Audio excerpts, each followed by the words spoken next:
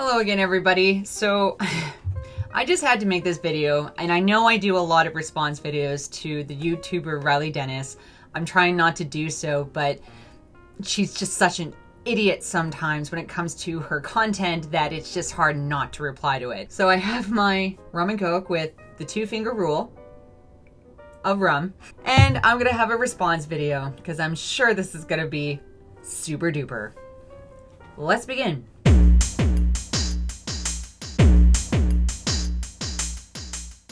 the video here, which I got redirected by Blair White, um, your dating preferences are discriminatory.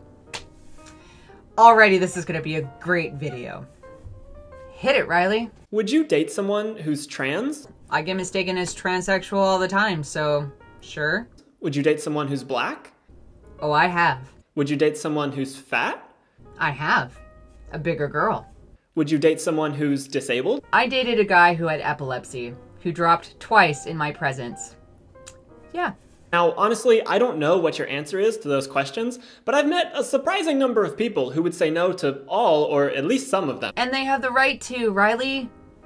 Who cares? It's not your life. It doesn't affect you, does it? Their argument is that it's just a preference and that you can't control who you're attracted to. Spoiler, it's not a preference.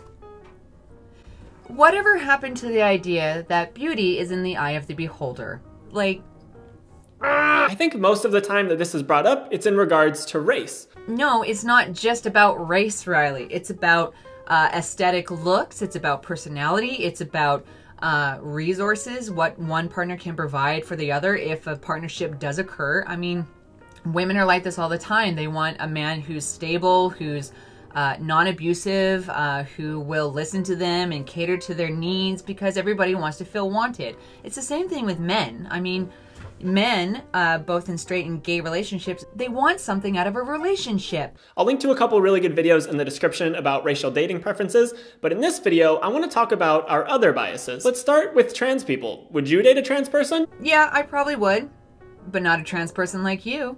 Honestly? Think about it for a second. Okay, got your answer? Thought about it. Still would. Well, if you said no, I'm sorry, but that's pretty discriminatory.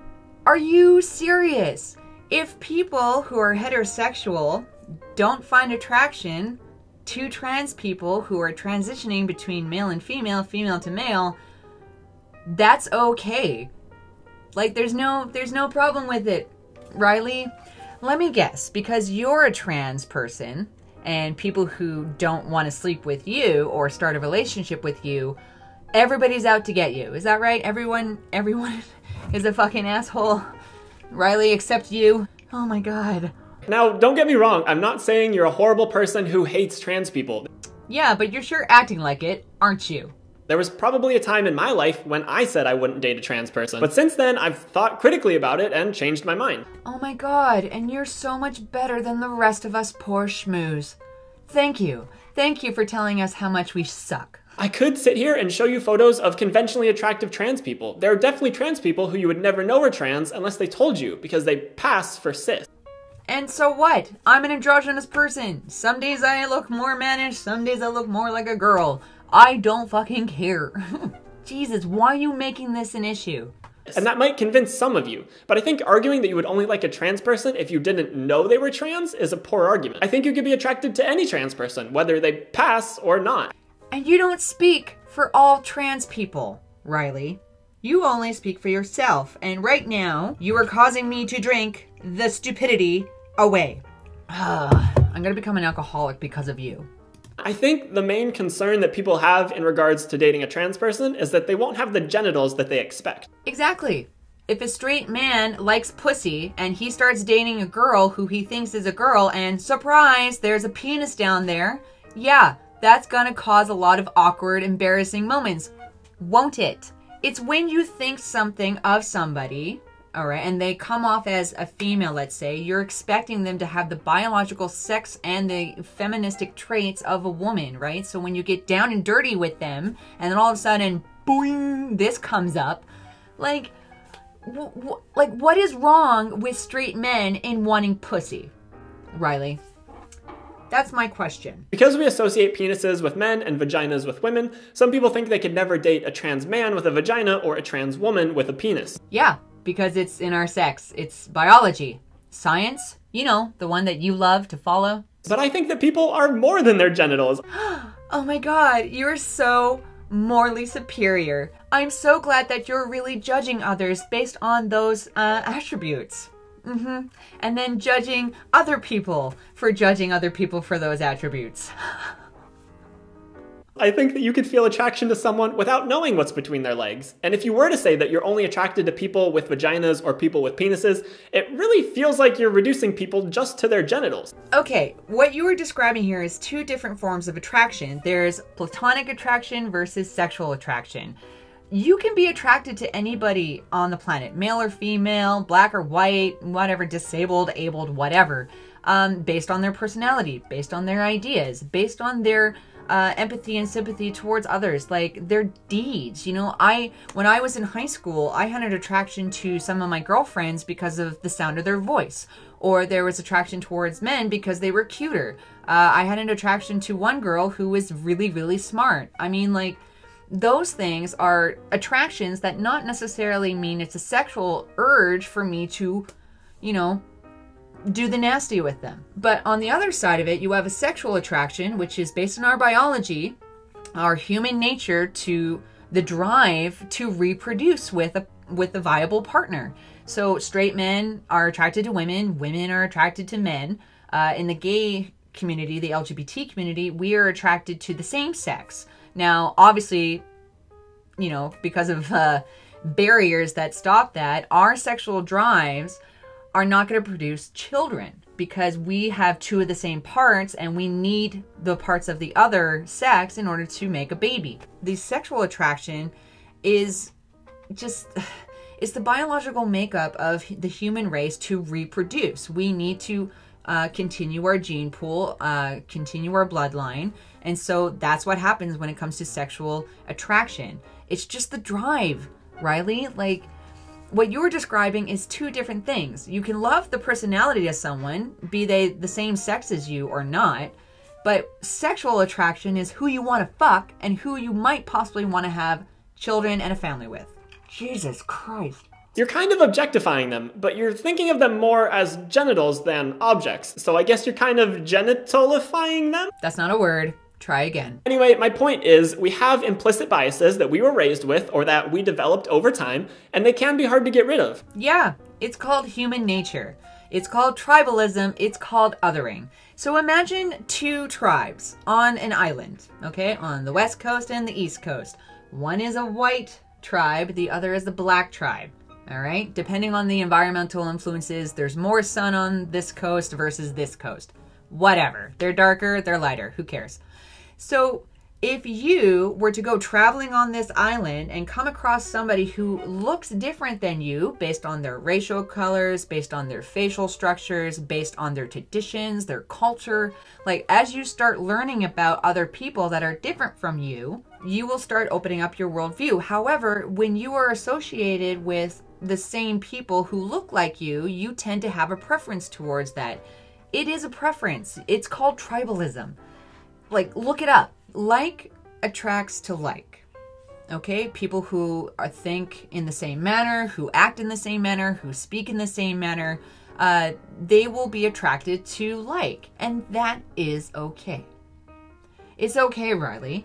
But we have some people, certain individuals who like new things, who like change, who step outside of those uh, those natural tendencies to to try something new. Like for me, I wasn't exposed to black people or black culture well until I was in college. I know, college. But I've had great relationships with uh, brown people, black people, Asian people, like every type of person out there I've been involved with. Like I'm I'm kind of a slut. or at least I used to be a slut.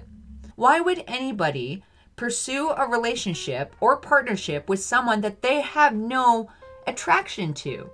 If you don't find anything in common or something that that triggers you to move in that direction, why are you wasting your time? And I think this can be especially prominent within the queer community. Gay men often pride themselves on being disgusted by vaginas, and the same goes for lesbian women with penises. And they have that right. Are you shaming gay people now? It's difficult because some queer people have built their sexual identities on these repulsions, but I don't think they're innate at all. Some people don't like fish tacos. Get over it.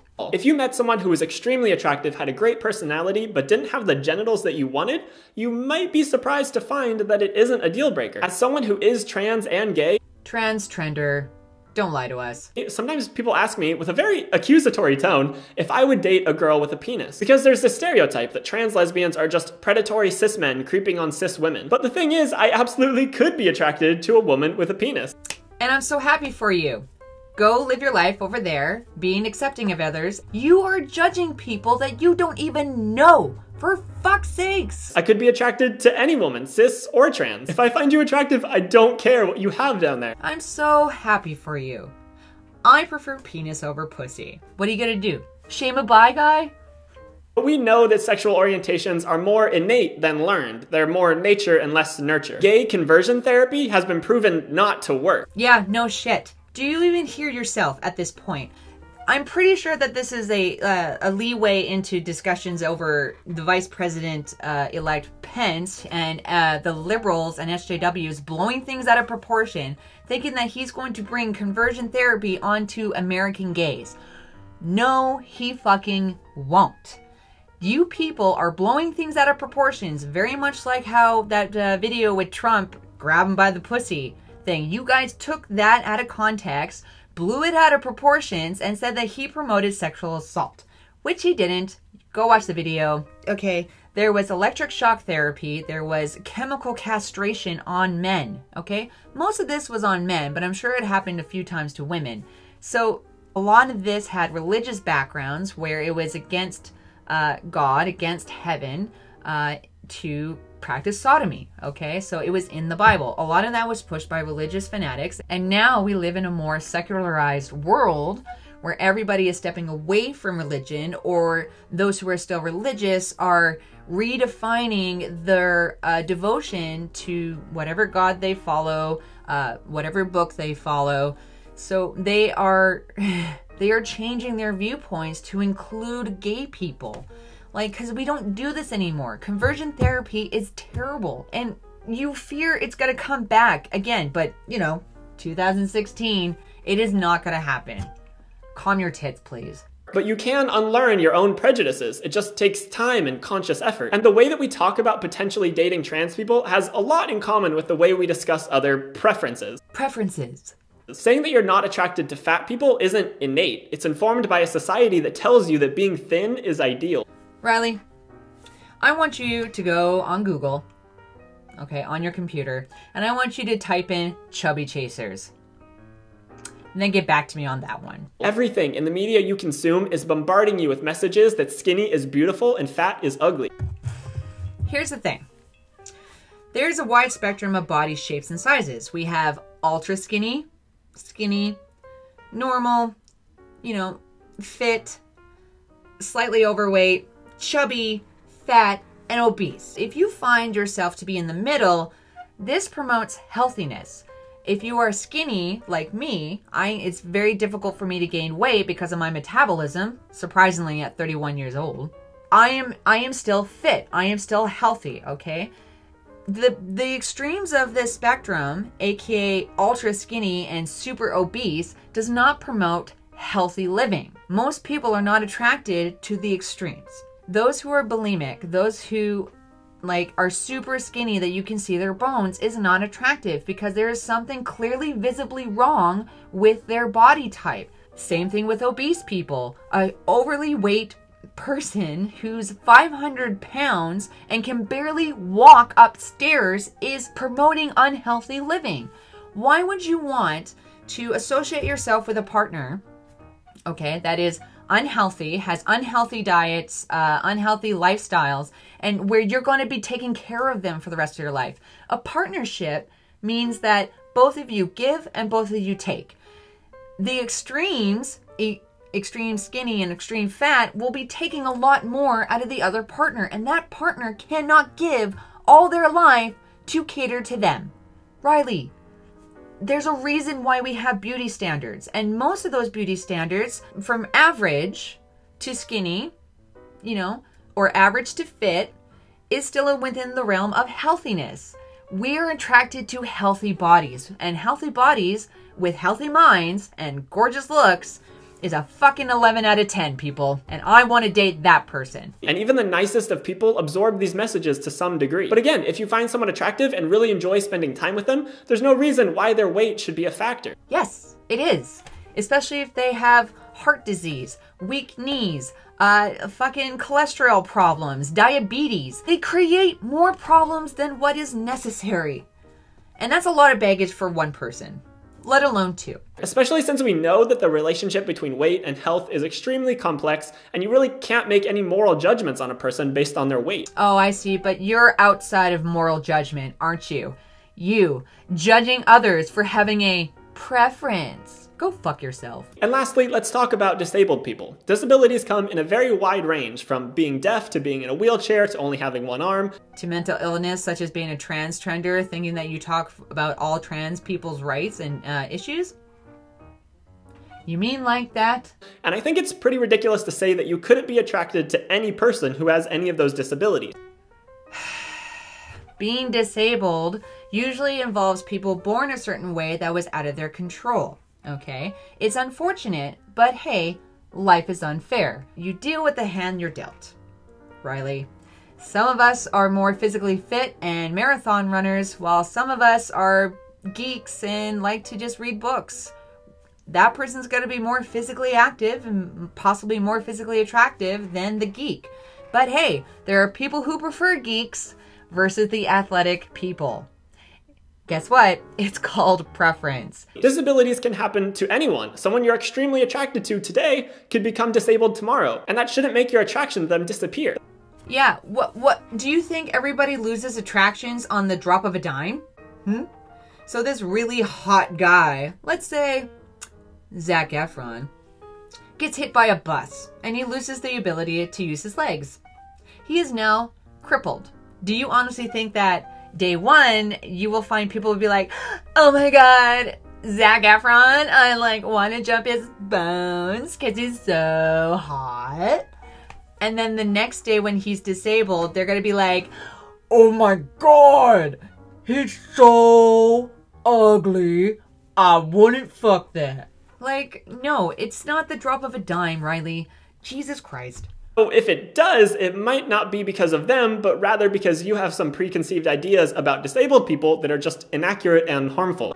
Jesus Christ, you don't speak for millions of people, Riley. You are standing there on your soapbox, waving your fucking book on feminism and judging others who are walking by. And you know what sane people do? The ones that are walking by?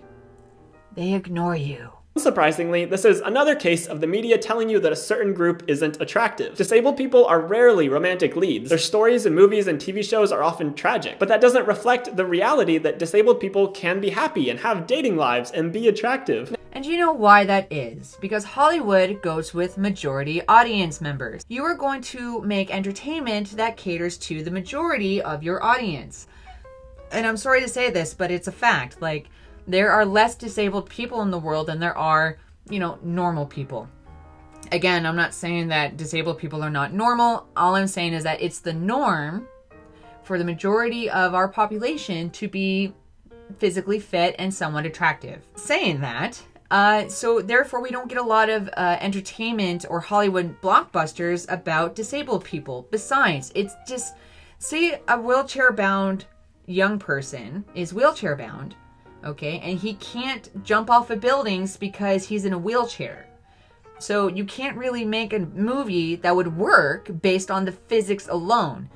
People who are disabled are limited in the uh, access to what, you know, fit people will do. For instance, Batman. Batman can't save the day and kick Joker's ass if he's in a wheelchair. Now, if you're not attracted to someone, you're not attracted to them. I'm not going to tell you that you have to be attracted to this fat person or that trans person or that disabled person. But you kind of are. You kind of are by telling us that we're bad people for not having a preference to these types of people. You are essentially thinking that everybody has to be loved and everybody has to get laid by like by most people. You know, you're trying to fight these um, beauty standards which humanity has created for itself just based on like biology. It's just inside of us to find this attraction to healthy bodies, to capable bodies, to people who are smart, people who are gorgeous, people who are fit. Like it's just our natural tendency. And you're telling millions of people right now to ignore that natural tendency. Jesus fucking Christ. But the more you work at unlearning your own prejudices, the more you'll be able to see people from these groups as people rather than tired stereotypes. Oh my god, like your stereotypes about cisgender people, or your stereotypes about straight white men being assholes, or your stereotypes about women being minorities and how they're weak. Jesus Christ, you were doing the exact same thing. Unlearning our own biases doesn't happen overnight, and I don't have a step by step instruction guide for you. I'm so glad, because if you did, I would not buy that. It would sit on the shelf collecting dust. I can guarantee you that. for you. But I think if you can accept that these prejudices exist in all of us, even you, you can identify them when they come up and work to change how you think about them. And be mental, just like Riley, because he's always, sorry, she is always thinking about these things at a constant daily basis and feeling bad for themselves and shaming others for their own fucking preferences. Go outside and live a life. It will most likely be a long, slow process, but I think it's worth it. Because these dating preferences Preferences, dude, stop putting quotation marks on preferences. They are what they are. are ultimately harmful to people who don't fit into your box of what a conventionally attractive person looks like. It makes people feel isolated, alone, and unwanted to hear that they're universally unattractive to people. And I'm sorry for that. I really am. But your feelings are not my responsibility. My feelings are my own responsibility, and I need to follow my feelings. If I have an attraction to, let's say, a white man versus a black man, I would want to be happy in my life, and I would find I'm I'm going to probably find better happiness going with the white guy. But again, I've had black dick. Really good, actually. If I happen to find someone, be they male or female, who I am attracted to and they are attracted to me and we fit well, then everything's a okay. I think that you're just upset when people deny you and refuse to have sex with you. But a lot of that is not because you're unattractive. It's your ideas, Riley. You are an insane person, and nobody wants an insane person as a partner. I don't think there's anyone out there who somebody doesn't find attractive. We're sold this image of the conventionally attractive person, but in reality, all kinds of people around the world are constantly dating, having sex, finding people attractive, getting married. It's not only the conventionally attractive who find love or have sex. Yes, beauty is in the eye of the beholder. But somehow, you thinking that other people who follow this, their preferences, based on what they find attractive, is not good enough for you. Stop speaking for others and being all morally superior. Stop being. You're virtue signaling. That's what you're doing. I get it now. You're a virtue signaler. Go fuck yourself. By working on ourselves to dispel that idea, we can make the world a more welcoming and loving place for everybody, no matter how they look. And we can all hold hands around the campfire and sing kumbaya and talk about the good old days. This is this is a perfect utopia world and it's never gonna happen. Video is a part of my Feminism with Riley series that I'm doing in collaboration with Everyday Feminism, a website dedicated to helping you stand up to and break down everyday oppression. I'm glad when you use me, Everyday Oppression, as part of your videos because it allows me to respond to your videos. Thank you. Well, there you have it, ladies and gentlemen. I got through another Riley video. Just just look, look at these. Out of out of these views, there's over 5,000 dislikes. 5,000. Riley, take a good hard look at your content and realize why you're getting a lot of dislikes is because you are talking as if you are part of a cult okay you are shaming people for preferences for for their attractions to other people that is personal you are you're wagging your finger at them that's don't you dare you need to fuck a trans person fuck a trans person or you're a bad person. Like, no wonder people make fun of the left. No wonder people make fun of SJWs and, yes, feminists like you.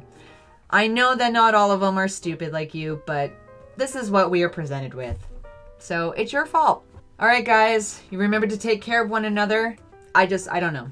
There's not enough booze for this, so. You all take care.